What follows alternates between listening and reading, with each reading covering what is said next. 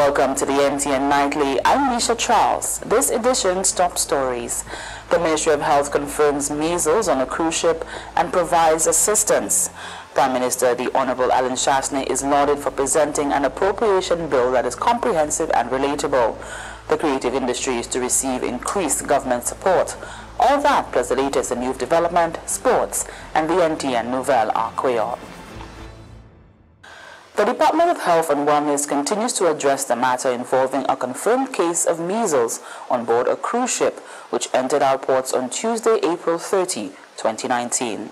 Given the highly infectious nature of measles, along with the possibility that other persons on board the vessel may have been in contact with and are now possibly infectious due to this disease, a decision was made not to allow persons to disembark.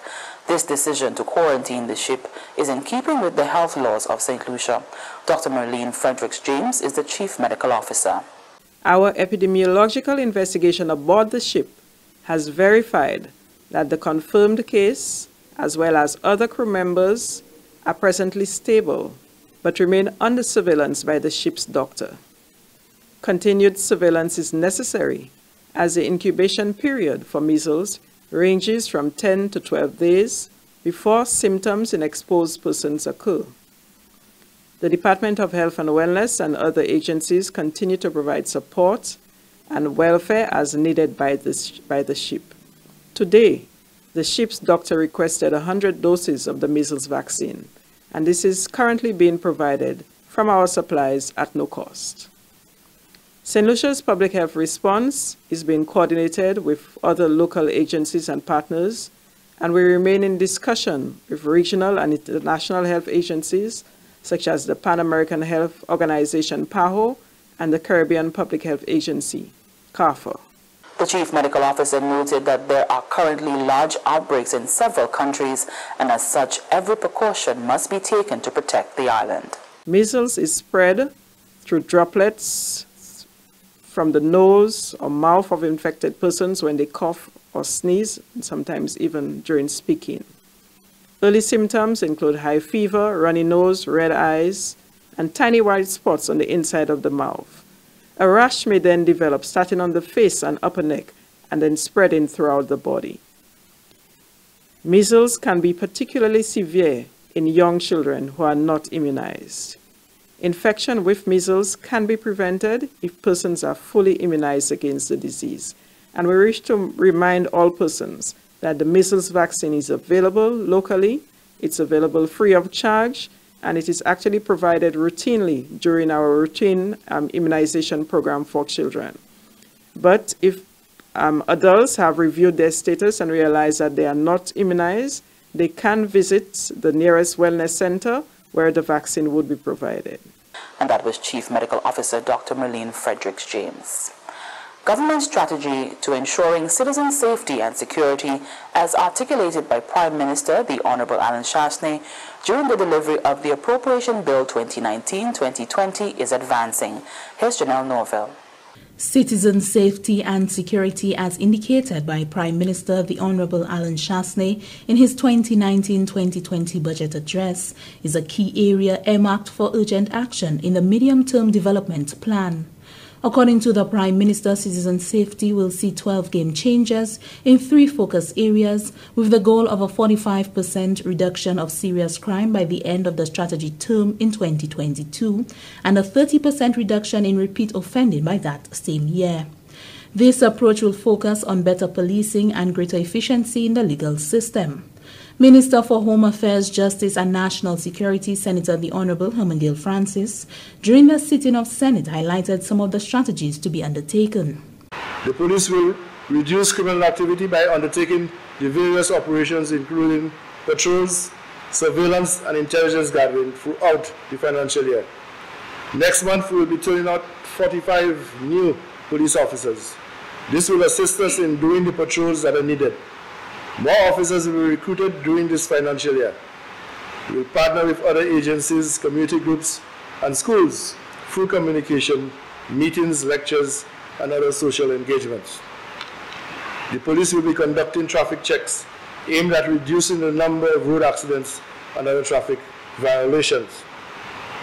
To that regard, we are going to be looking at looking at speed guns and the breathalyzer test so that when I am in Taiwan, these are two of the interventions that I will be looking at to get back here as quickly as possible. Senator the Honorable Hermangild Francis explained that police officers have been permanently attached to the prosecution unit and will be provided with the necessary training so as to enhance their capabilities to provide the required support. Also, under citizen safety, a parole system is expected to be introduced alongside a strong rehabilitation program. The minister expounded. We want to coordinate and collaborate on intelligence between the Royal St. Lucia Police Force and the Bordelais Correctional Facility aimed at reducing crime on the streets and improve data collection and analysis on gangs and crime trends. We will also have a parole. They are now going to be introducing the parole and probation. I will talk a little later uh, uh, about this. We are promoting public safety through effective supervision of offenders on probation. Promote lawful and productive lifestyles among probationers and assist courts with managing offenders and juveniles at risk. Crime prevention and detection is another area being strengthened that will benefit from a stronger police presence in hotspot areas. There will be increased foot and mobile patrols on the front line where most needed. Additionally, greater surveillance capabilities are now available to the police with the building out of the $5.8 million Safe City CCTV project in Castries, of which $1.8 million has been allocated for 2019-2020, and more focus will be placed on community policing to strengthen community involvement in fighting crime. For the Government Information Service, I am Janelle Norville. The Minister with responsibility for culture and creative industries, Senator the Honorable Fortuna Belrose, during the budget debate spoke to the proposed plans for the creative industries for the period 2019-2020. A total of EC $500,000 has been allocated to the training, building capacity and development programs by the Cultural Development Foundation. The minister informed that data collected via a CDF mapping exercise indicated that there are 40 persons who have been registered and are directly employed in the arts. Of the 400 registered creative workers, 67% of them are male and 33% are, female. And this is indeed instructive because as more of our males always appear to be, more of our males appear to be pursuing um, the path of creativity you know, areas of creativity as a profession.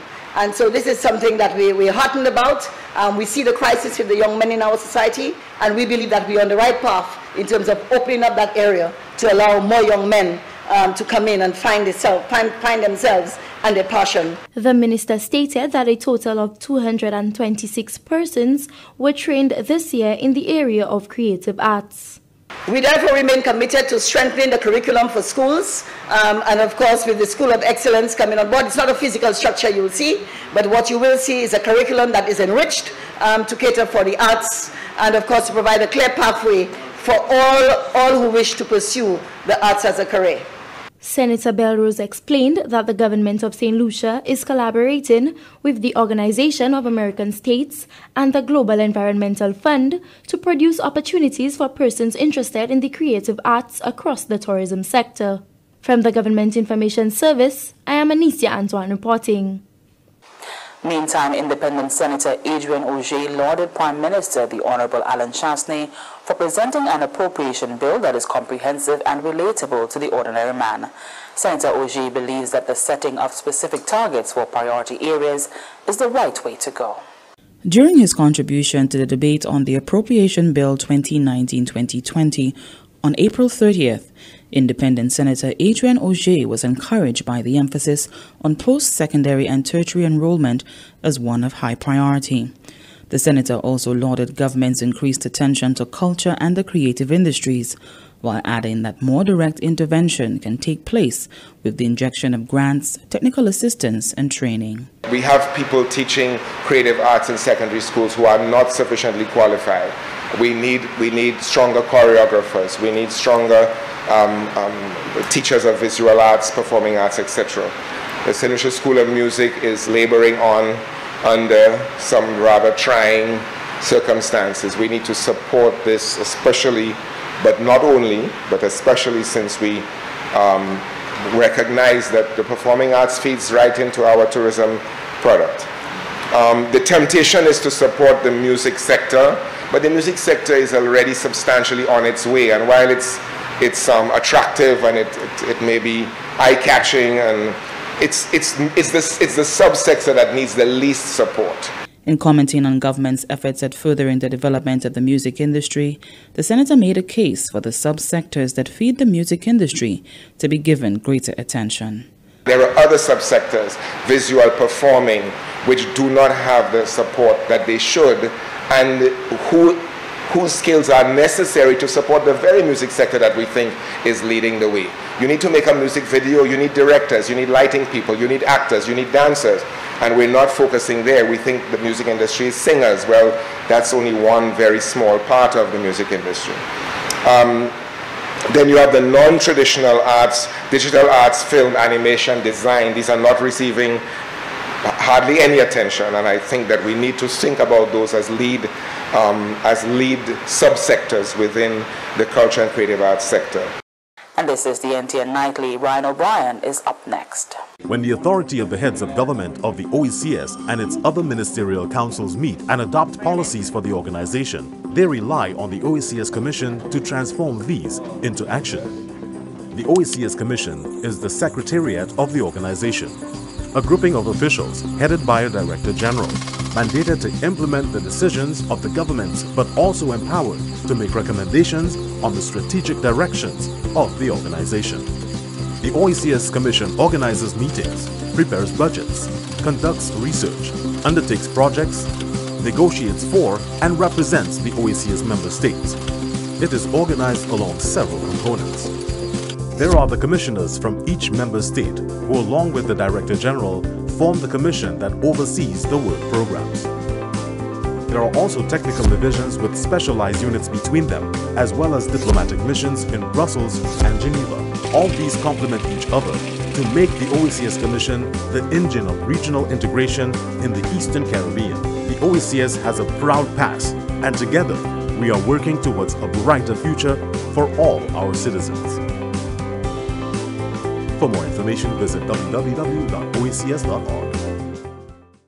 Welcome back. We join Ryan O'Brien for the latest happenings in youth development and sports. Welcome to your update on happenings in youth development and sports on the NTN Nightly News.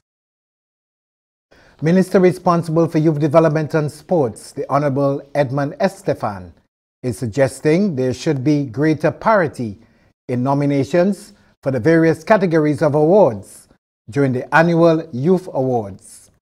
Minister Estephane made the remarks while addressing Youth Awards last Saturday evening. Our shortlist was down to about 30 within 19 categories. We continue to observe that visual and literary arts are not very popular categories. However, the performing arts are more than quadruple with nominees. We also observe with a degree of sadness that there was barely a nomination for District Youth and Sports Council. Hopefully next year we will begin to see some changes in these nominations. The minister pledged that there will be continued improvements to the annual staging of the National Youth Awards. Perhaps through an online platform for nominations, which is more accessible to the young people. We note with great interest at the Ministry of Youth Development and Sports, the National Workers Union, NWU, spirited efforts, spirited efforts in promoting youth development within the trade union movement. We are looking at including a new category at the Youth Awards next year to recognize the efforts and contribution of meaningful youth engagement within the trade union movement. We are gratified by the continued partnership and engagement with youth groups and organizations throughout the island.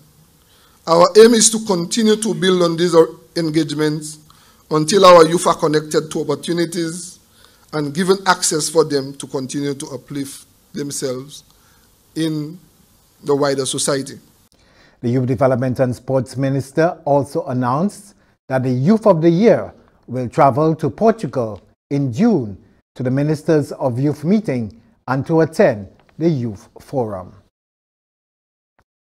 The Ministry of Youth Development and Sports is encouraging physical education teachers to take advantage of the opportunity to receive certification as an international FINA Level 1 open water coach. It's being made possible as the St. Lucia Aquatics Federation will be hosting a five-day FINA Level 1 open water coaching clinic for anyone interested in becoming an open water swimming coach. Applicants must be 17 years and older. Open water coaching presents a different set of dynamics to pool coaching and requires its own certification as directed by FINA. The course is scheduled to take place from May 7th to the 11th. It will be conducted by world-renowned FINA lecturer Stephen Cassidy, who is a member of the FINA Technical Open Water Swimming Committee. He's also a member of the Board of Directors of the International Marathon Swimming Hall of Fame. School sports competitive activity is set to resume shortly. Among some of the events to look out for are schools under 15 cricket, scheduled to start May 14th, inter-school swimming June 21st, and look out for the School Sports Awards set for July 5th. All useful dates to remember. And if that, we come to the end of your update on happenings in youth development and sports for today. I'm Ryan O'Brien. Thanks, Ryan. The St. Senate has welcomed a new member. On Tuesday, 30th April 2019, Francisco Jean-Pierre was sworn in as a government senator. President of the Senate, Honorable Janine Giraudy McIntyre, informed that she had received correspondence from Senator Dr. Ubaldus Raymond indicating his resignation from the upper house. Senator Jean-Pierre, a taxi operator, most recently was the assistant manager of loans at the Laborie Cooperative Credit Union. He serves on the board of the Southern Taxi Company and has for years been an advocate for taxi drivers in the South. In his maiden address to the Senate, Senator Jean-Pierre expressed elation at government's plans for the south of the island, among them the redevelopment of the Hewanorra International Airport. A consideration to develop the Port of Vieux Fort as a cruise terminal, that is also significant. So I believe we are heading in the right direction in our tourism industry, an industry that I have benefited in for almost my entire adult life.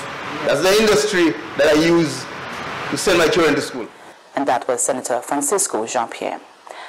And do stay with the NTN Nightly. Up next, Primus Hutchinson is here with the NTN Nouvelle Arqueon. I was in my neighborhood it was a very dark night and I decided to go for a drink by a bar. On my way from the bar, I felt the sting to my right leg. And when I looked back, I knew it was a, a, a full snake. You happen to be in an area where there are snakes and you are bitten by a snake. This is what you do. You call for help and try to reach the Victoria Hospital within one or three hours, you will be seen immediately. My uncle at the time was a police officer, called the um, Victoria Hospital and told them that we coming down for snake bite. It's the only facility on the island which has a protocol and a treatment plan where you can be treated adequately. We call them before you go there so they can prepare for you. And rest assured that there are adequate supplies of antivenom with doctors who have been trained in the treatment protocols of the snake bite. Welcome back. We join Primus Hutchinson for the NTN Nouvelle en Creole.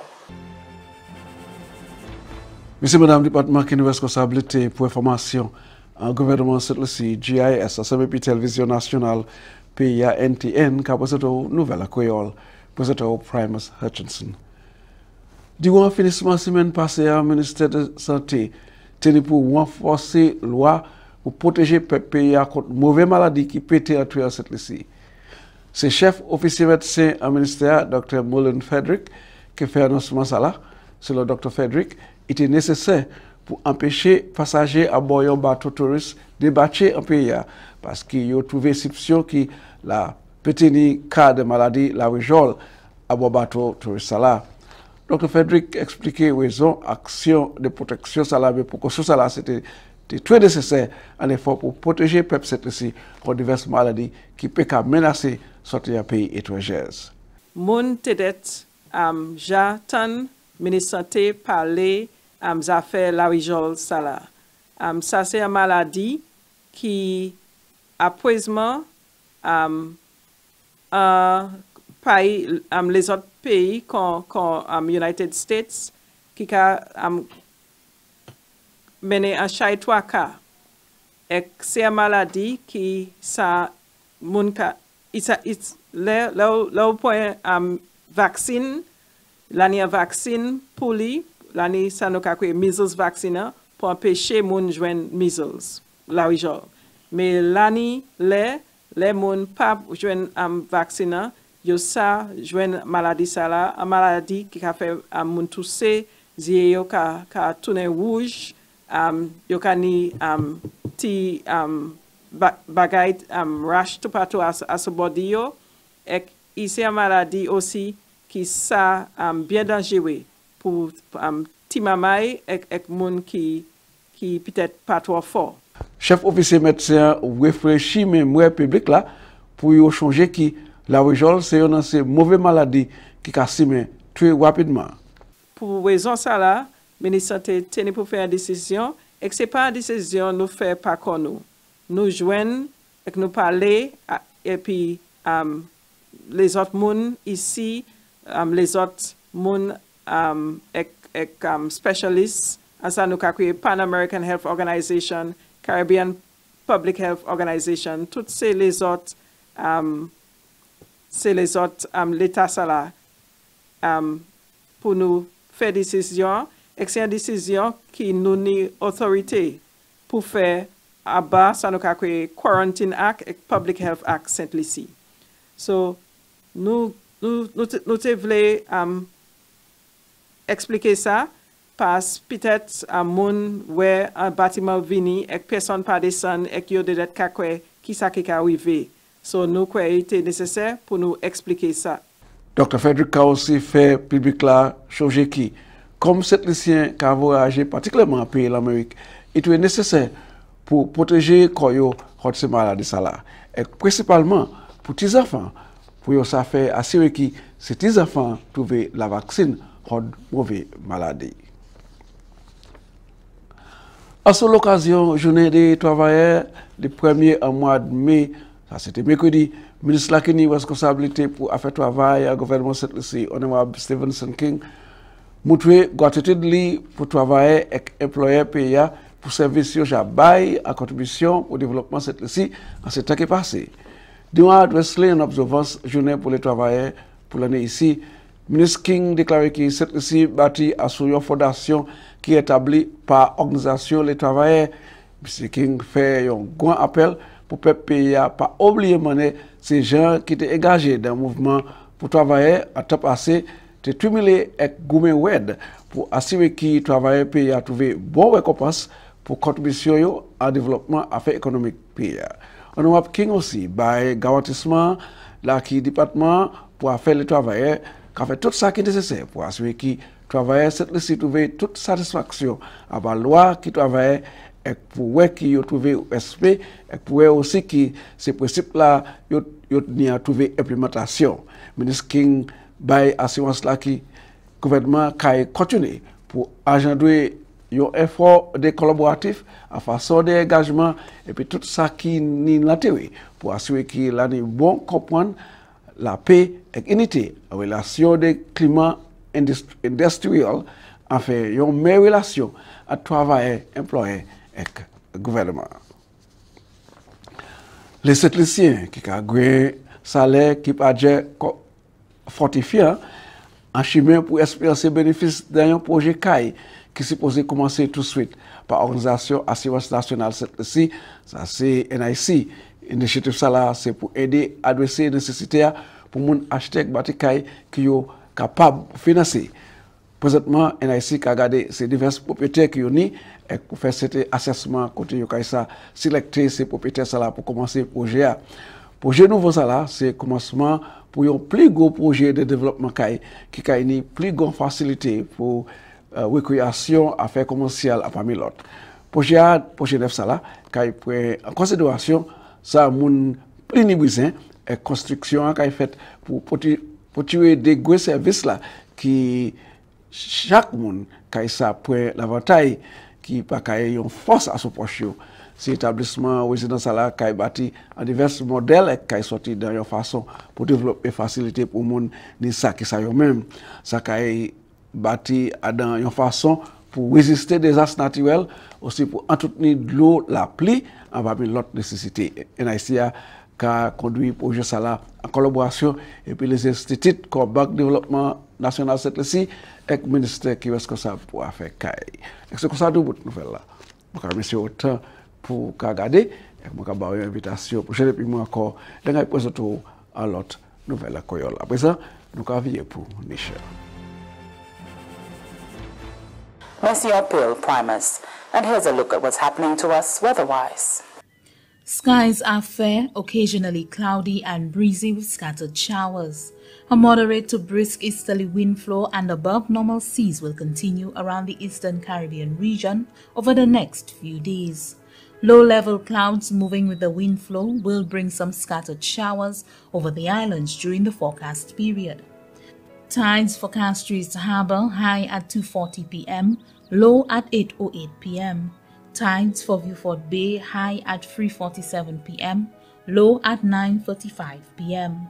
Seas moderate to locally rough with waves of 5 to 7 feet or 1.5 to 2.1 meters. The sun will rise Friday at 5:41 a.m. And that brings us to the end of the NTN Nightly. Join us next time at 7 p.m. with a repeat at 7 a.m. You can also catch up with us anytime on the St. Lucia Government Facebook page or YouTube channel. I'm Nisha Charles.